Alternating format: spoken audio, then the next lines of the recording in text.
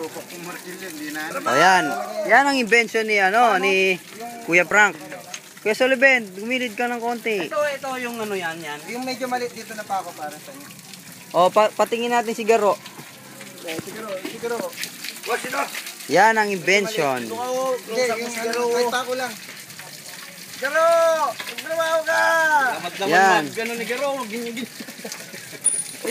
Yan ang invention. Ako rin, titignan mo rin ako.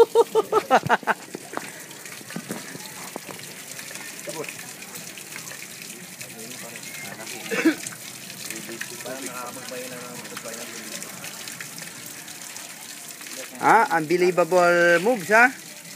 O yan. Yan si Franklin Oronce. Yun o, tinutusok niya pa yung butas oh. Oh.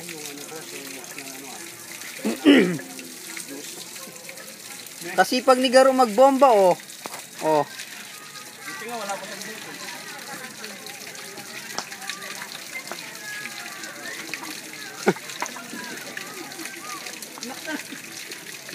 Boom!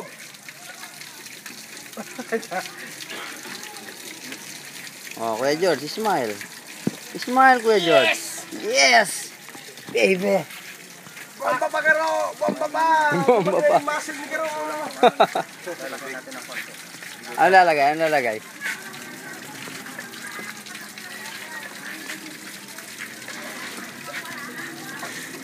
Ang galing ha, ang galing. Dito naman, dito naman. Sarap.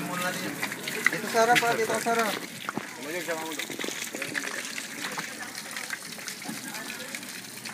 Di makita. Kita, kita.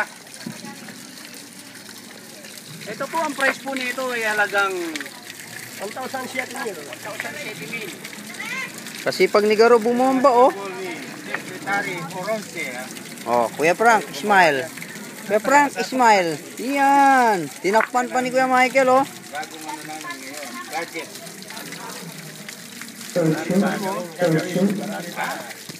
Di pa man tapos, may apat na order na.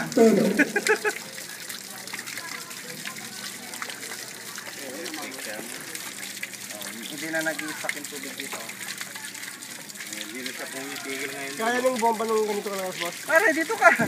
Dito ka. Dito tayo eh. Oh, dumating na si Kuya Reggie, ang dakilang treasurer ng co-op. Kasama mo ng garo. Happy nang in charge ng co-op yan. Tinitignan niya na ang bagong project. Pare, baka nakano. Baka may ganun Hindi, ano. tinitignan ko.